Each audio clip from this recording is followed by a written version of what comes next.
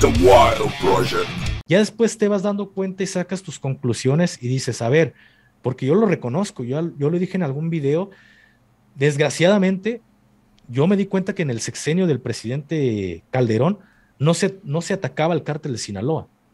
Muy poco se atacó al cártel de Sinaloa, pero sí a todos los contrarios. Para mí era todos contra los Zetas, pero muy poco se, se actuó con, contra Sinaloa.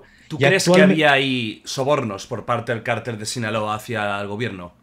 Claro que los hay, Jordi. Los hay. Claro que los hay. Desde, desde los pequeños municipios eh, de un estado hasta el gobierno federal hay una corrupción innegable. O sea que los cárteles no están siendo exterminados porque han conseguido entrar en los gobiernos.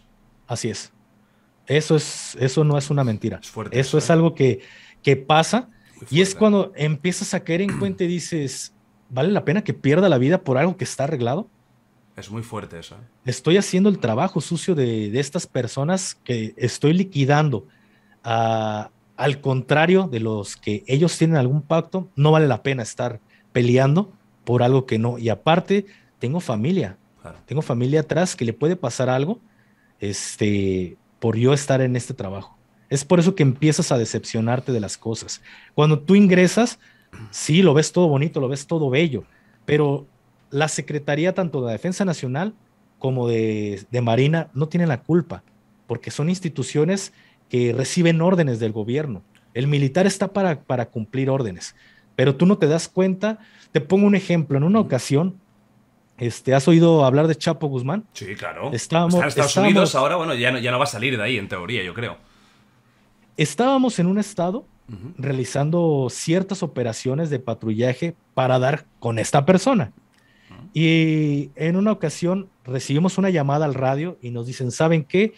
Eh, actividades administrativas mm, hasta nueva orden. Esto de actividades, actividades administrativas es lavar tu ropa, limpiar armamento, pero se prohibía o está prohibido el movimiento de tropas ese día para nosotros. Y en la noche sí se escuchó, efectivamente se escuchaba una fiesta en el pueblo. Es porque estábamos cerca de un pueblo. Y al día siguiente, temprano, a las 9 de la mañana, llega otra orden y dicen, ¿saben qué? Reanuden actividades de patrullaje. Y fuimos, andábamos patrullando nuevamente en el pueblo y una señora nos para y nos dice, ¿ya para qué están aquí? Aquí andaba ayer el chaparrito. ¿Cuál chaparrito? Pues el que ustedes andan buscando, ¿qué le hacen?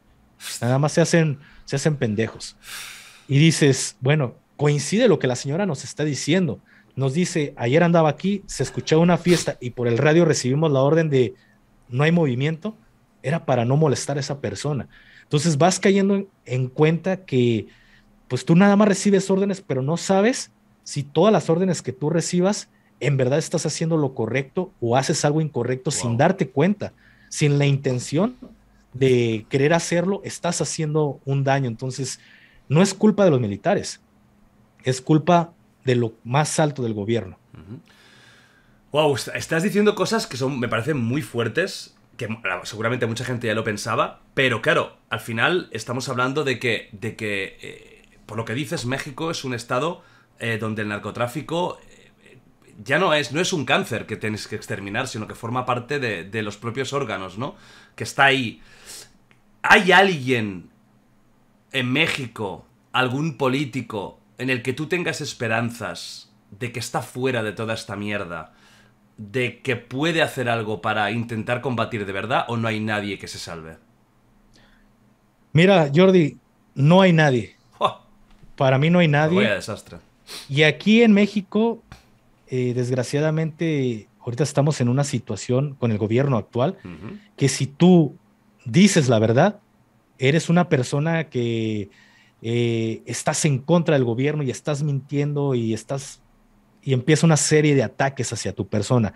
Yo te lo digo abiertamente, yo temo al gobierno actual ¿Lo por todo lo que digo. Exactamente, yo temo por todo lo que digo y que he dicho en mis videos, temo al gobierno actual, porque me he dado cuenta de la gravedad de las cosas y que la gente no se da cuenta.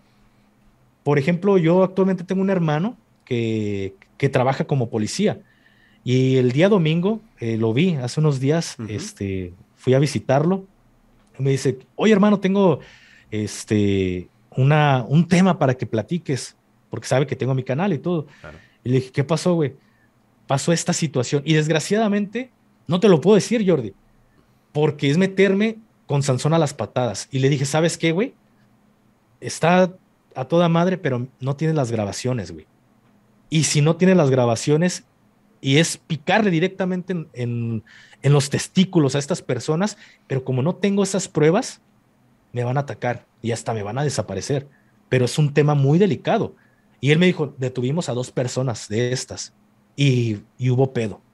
Entonces te das cuenta de lo de dónde viene el, el, madrazo, pero si tú hablas en contra, tú eres el que estás mal.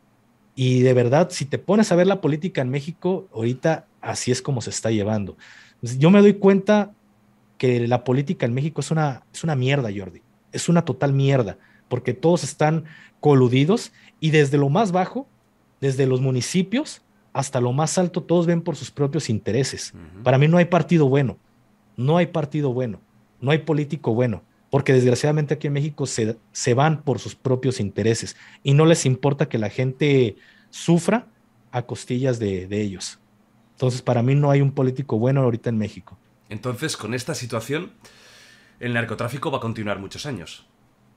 De hecho, para mí lo de lo que hizo el, presidente Calderón, porque muchos militares lo ven bueno. Ah, que el presidente Calderón y que combatió el narcotráfico y que el mejor presidente y que en ese, en ese sexenio, porque en ese sexenio se nos aumentó a los militares la mitad del sueldo que tenemos hoy. Porque anteriormente el mexicano el militar mexicano ganaba 5 mil pesos al mes. Es una madre 5 mil pesos. Entonces, eh, son aproximadamente, creo que ni a los 300 dólares llega. Es una vergüenza. Entonces llega este presidente y le aumenta de 300 dólares a 600 dólares el sueldo. Y para el militar mexicano fue, eh, casi le ponían veladoras. Pero fue una estrategia que ese presidente utilizó. Si él ya sabía, él ya tenía como idea o en planes pelear contra el narcotráfico, pues no puedo mandar a los soldados a pelear al narcotráfico con estos sueldos. Y más porque vieron toda esa tasa de deserción de militares, porque los gafes que formaron los Zetas empezaron a reclutar soldados. Ellos al principio era un, este, un cártel paramilitar, si lo puedes ver de esta forma, y ellos empezaron a reclutar y decían, bueno, si los mando a, a combatir a estas personas con estos sueldos, pues se van a ir mejor con ellos porque pagan, pagan más. Entonces, por eso aumentaron el sueldo. Pero para mí, la guerra contra el narcotráfico, la llamada guerra contra el narcotráfico, fue un tema político. Fue un tema de que sabían que ese partido político estaba por perder o ya había perdido las elecciones y hubo una manipulación en las elecciones y quedó ese presidente. Y para mí fue algo como decir, vean, estoy haciendo, voy a combatir al narcotráfico. Pero para mí únicamente agitó el avispero y pasó esa, ese avispero a los siguientes gobiernos.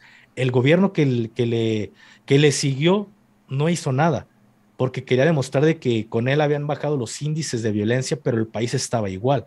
Quería tapar el sol con un dedo. Y en este actual no se está haciendo absolutamente nada.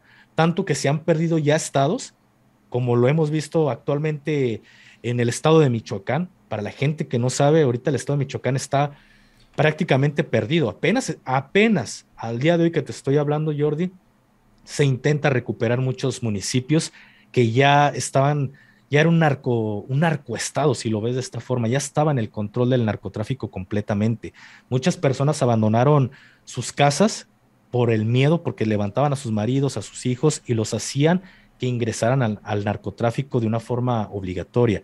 Entonces mucha gente huyó y había pueblos fantasmas en el estado de Michoacán. Pero al ver la situación de que ya se estaba saliendo de control, ahora sí el gobierno quiere actuar para no quedar mal. Pero en realidad puedes actuar desde antes, antes de que pierdas todo, toda la seguridad, puedes actuar, no hasta, hasta que ya todo está perdido. Porque una de las políticas del presidente que tenemos actual, y no es mentira, es eh, abrazos, no balazos. Es una política tonta cuando ya tienes el narcotráfico en el país ahí ocuparía salir, cualquiera de esos políticos ocuparían salir a las calles para que se den cuenta cómo está la situación, que se den cuenta de que no puedes hacer ciertas actividades en la noche porque te van a parar los, los, sicarios y te van a empezar a interrogar, porque no puedes hacer una fiesta eh, por el volumen, que si eres una persona, ya, ya ni siquiera pelear en la calle, que no es correcto, no digo que sea correcto, pero ni siquiera eso se puede hacer. Porque si te peleas y ellos te agarran, te revientan las nalgas, te revientan el culo a tablazos. De verdad, entonces es algo que ellos deberían de salir a las calles con, los, con las personas como yo, que estamos en lo más bajo y que se den cuenta cómo está el país y que estás bajo, la, bajo los huevos de ellos. De verdad, porque hasta la policía está bajo el control de ellos. Es un miedo de hacer un reporte o una llamada anónima eh, para reportar algo porque sabes que hasta la policía está coludida en este tema. Y ojo, lo veo y no ataco a la policía porque yo he estado dentro, he estado dentro de corporaciones y es cuando te das cuenta y dices, güey, ni siquiera la policía la libre y te das cuenta cómo está el teje.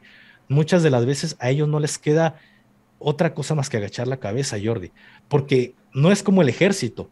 Yo llegaba, iba al estado de Tamaulipas, operaba y hacíamos operaciones tres meses y regresaba a mi casa. Pero el policía no. El policía de un municipio aquí en, México es mal pagado, muy mal pagado, Jordi. Y de verdad, eh, el estado de fuerza o los elementos es una completa burla.